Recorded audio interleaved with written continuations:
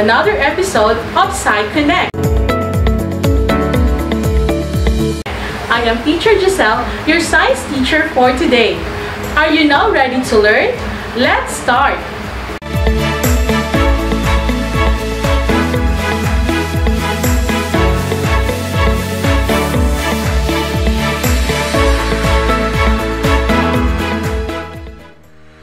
This grade 10 video lesson is about menstrual cycle.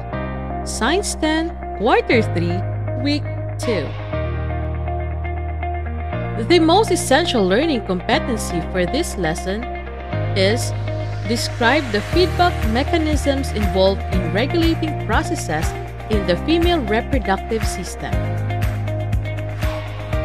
The objectives for this lesson are as follows. Number 1, define menstruation. Number 2, identify the important events during the menstrual cycle. And number 3, describe the feedback mechanisms in the female reproductive system. The key questions for this lesson are as follows. Number 1, what are the important events during the menstrual cycle? Number 2, why are feedback mechanisms involved in regulating processes in the female reproductive system important? Before we start our lesson, let's have the pre-assessment. You can use your notebook or any clean sheet of paper to write your answers. Directions Identify what is asked or described in each item. Choose the letter of the correct answer. Number 1. The pituitary gland releases hormones that causes the egg in the ovary to mature. What hormone initiates the maturation of the follicles? A. Follicle stimulating hormone B. Luteinizing hormone C. Progesterone hormone or D. Testosterone hormone Number 2. At what days in the menstrual cycle does ovulation phase occur? A. 1 to 5 days B. 6 to 10 days C. 11 to 18 days D. 19 to 28 days Number 3. What phase of the menstrual cycle does the uterus prepare for a possible fertilization? A. Luteal phase B. Follicular phase C. Ovulation phase D. Menstruation phase Number 4. How many days does the menstrual cycle last? A. 10 days B. 18 days C. 20 days D. 28 days Number 5. What endocrine gland controls and start the menstrual cycle? A. Adrenal gland B. Parathyroid gland C. Pituitary gland D. Thyroid gland Now let's have this activity before we start our lesson. Direction Identify some of the symptoms of menstruation by arranging the jumbled words below.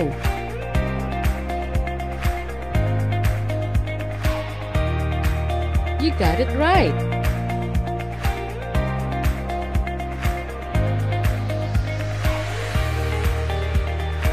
Correct!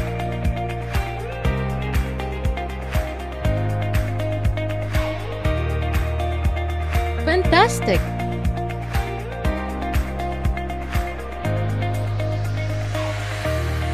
Getting better.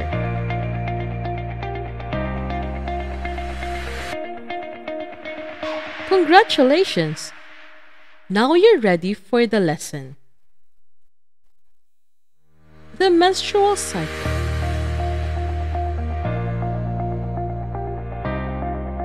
Before we start, let's define what is menstruation. Menstruation is the technical term for getting your period. About once a month, females who have gone through puberty will experience menstrual bleeding. Bleeding usually lasts for 3 to 8 days. For most women, menstruation happens in a fairly regular, predictable pattern. The length of time from the first day of one period to the first day of the next period normally ranges from 21 to 35 days. The phases of the menstrual cycle. Phase 1 this is the menstruation phase. The first day of menstruation is the first day of the menstrual cycle. The uterine lining breaks down and blood comes out of the vagina. This is called the menstrual flow. The flow lasts from 3 to 5 days. It marks the beginning of the next menstrual cycle. Phase 2 This is the follicular phase. The lining of the uterus becomes thin after menstruation. This is a repair period for the uterine lining and development period for an egg to mature. Phase 3 The mature egg is released. This period is called the ovulation phase. The egg cell travels along the oviduct or fallopian tube and waits for the sperm cell. Phase 4 This is called the luteal phase. During this period, the uterus prepares for a possible fertilization and implantation by making the uterine lining grow and thicken. Now let us summarize the important events during the menstrual cycle. Number 1. The pituitary gland controls and starts the cycle. Number 2 the pituitary gland releases hormones that cause the egg in the ovary to mature. The luteinizing hormone, LH, initiates the maturation of the follicles, convert ruptured follicles into corpus luteum, and causes the secretion of progesterone.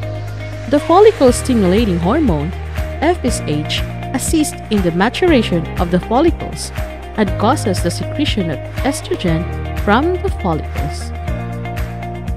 Number 3. Meanwhile, the ovary itself releases a hormone called estrogen, which causes the uterine lining to increase in thickness. The uterine lining becomes thicker so that the fertilized egg can attach to it. Number 4. The ovary releases an egg on day 14. Assume that no sperm is present. Number 5 the egg moves through the oviduct and enters the uterus. Number 6. Meanwhile, the uterine lining continues to thicken. Number 7. The egg has not been fertilized, therefore, it will not attach to the uterus. Number 8. The thick uterine lining is no longer necessary, so the cells of the thickened uterine lining breaks off and leaves the vagina. The unfertilized egg is lost and some blood is lost too. This loss of cells from the uterine lining, blood, and egg is called menstruation. And number 9, after menstruation, the cycle starts again. Now you already know what is meant by menstrual cycle. But why do these things happen? Have you ever heard about the feedback mechanism? What is a feedback mechanism? A feedback mechanism is the process through which the level of one substance influences the level of another substance. A negative feedback affects the production of hormones in the menstrual cycle. High levels of one hormone may inhibit the production of another hormone. The feedback mechanisms in menstrual cycle. Number 1. Follicle stimulating hormone or the FSH stimulates the ovaries to release estrogen. High levels of estrogen then prevents the further production of FSH. Number 2. Estrogen also stimulates the release of luteinizing hormone or the LH from the pituitary gland, which in turn controls the production of progesterone. High levels of progesterone then inhibit further release of LH. To understand more the feedback mechanism in menstrual cycle, let's study this diagram.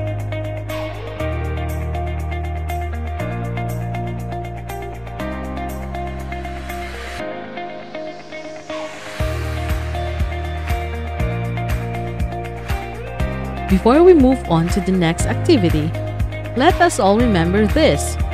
The menstrual cycle is the monthly series of changes a woman's body goes through in preparation for the possibility of pregnancy. Each month, one of the ovaries releases an egg, a process called ovulation. At the same time, hormonal changes prepares the uterus for pregnancy. This is a menstrual period. Now let's have the activity. You can get your notebook or any clean sheet of paper and write your answers on it. You will be given 5 minutes to answer the activity. You can pause the video while answering the activity. Direction List down important events that occur in each phase of the menstrual cycle.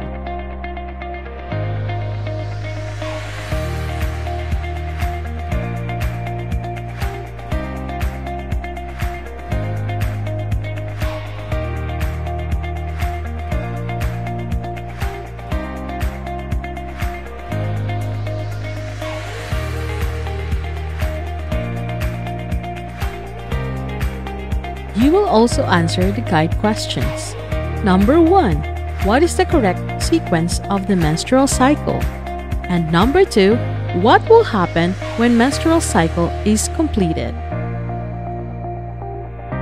We are now down in our reflection part. You can get your notebook or any clean sheet of paper to write the things that you would like to know more and ask your teacher about it. Or you can also write the things that you have learned in this lesson.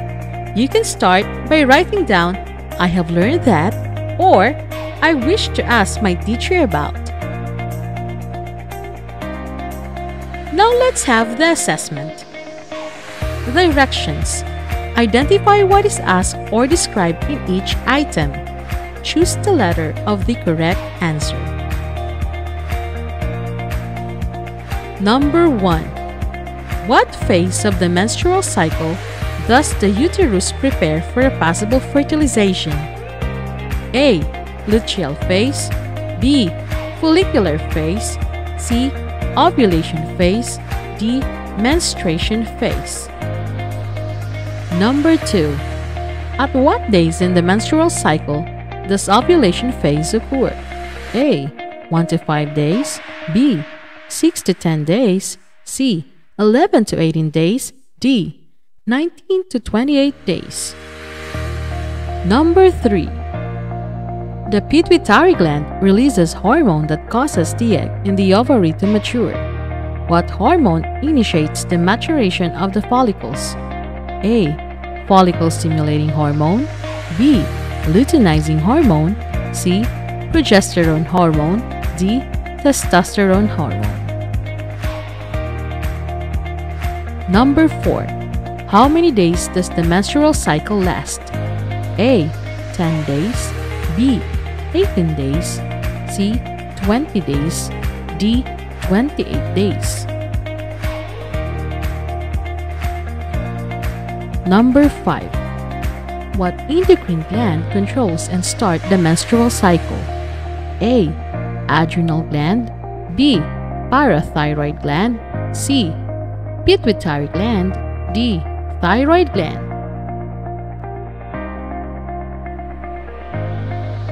Well done on your new learnings! I hope you have appreciated more the topic about menstrual cycle. Congratulations learners for finishing the video lesson. I hope you enjoyed learning with me today. Remember, learning is fun with Sci-Connect.